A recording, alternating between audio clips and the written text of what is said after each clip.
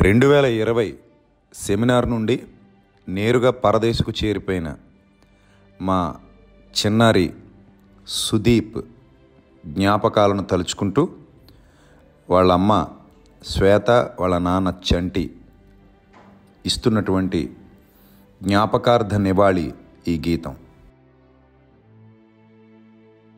నాన్న నాకు ఒక చిన్న కొత్త కథ చెప్తారా కొత్త కథ కాదు కానీ నిజంగా జరిగిన చరిత్ర చెప్తాను వింటావా? వింటాను నాన్న సరే.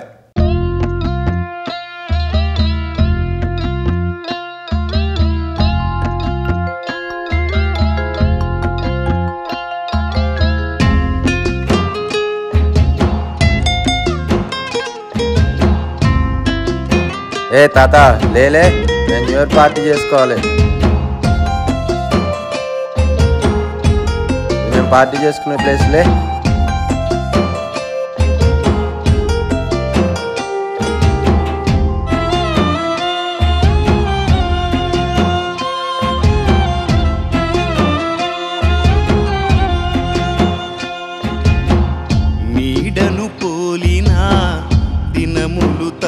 తరుగుచున్నవి కాలము జీవము కలవలి కరుగుచున్నవి. సంపాదించలేను కోల్పోయిన ఏ క్షణము. లోకములో గడిచెను వ్యర్థముగా అనుదినము. దేవుని కొరకై జీవించిన దినములు స్వల్పము. రాత్రులు గడిపిన దినములు అధికము. నీడను పోలిన దినములు తరుగుచున్నవి. కాలము జీవము కలవలి కరుగుచున్నవి.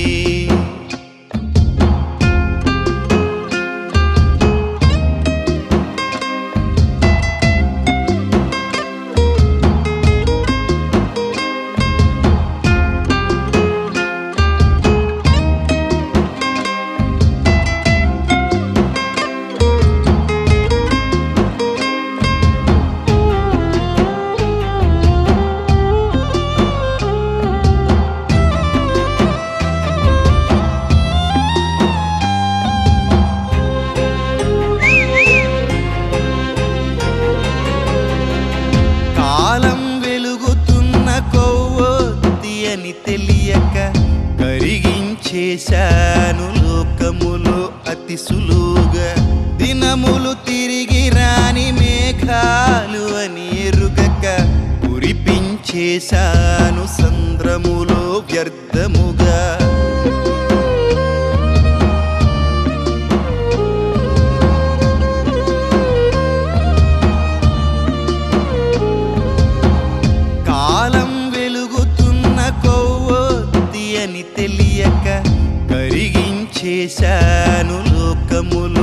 అతి సులువుగా దినములు తిరిగి రాని మేఘాలు అని ఎరుగక కురిపించేశాను సంద్రములో వ్యర్థముగా. దేహము ముడతలుగా నడకలు తడబడగా కన్నులు కనబడక కాటికి త్వరపడగా ఊపిరి భారముగా అందరూ దూరముగా మంచమే మిత్ర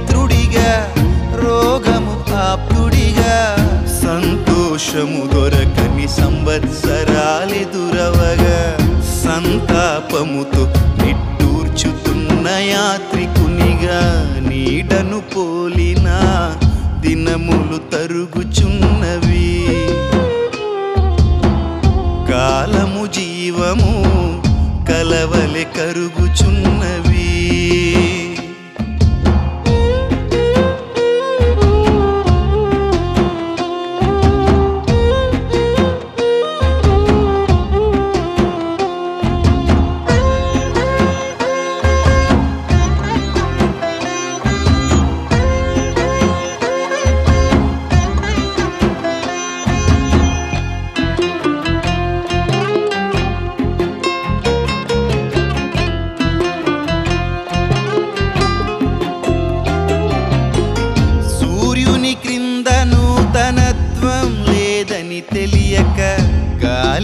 వెతికాను క్రొత్త కొరకు కోరికగా పూర్వులు జ్ఞాపకముకు రారని నే గుర్తించక పేరుకు ప్రాకులాడి మిగిలాను.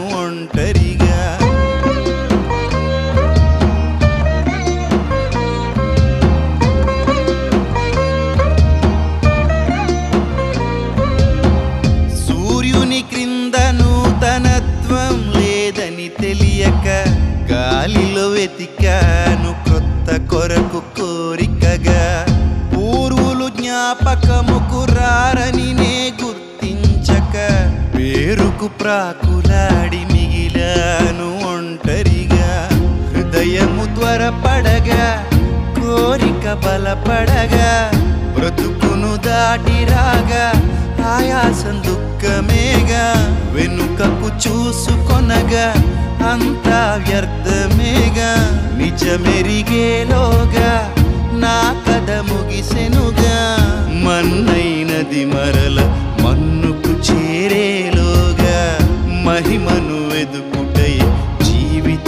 పరమార్థముగా నీడను పోలిన దినములు తరుగుచున్నవి.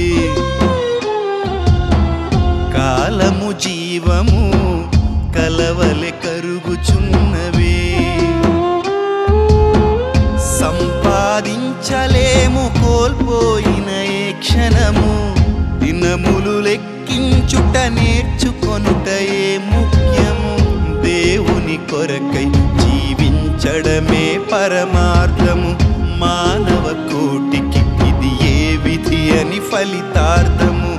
నీడను పోలిన దినములు తరుగుచున్నవి. కాలము జీవము కలవలె కరుగుచున్నవి.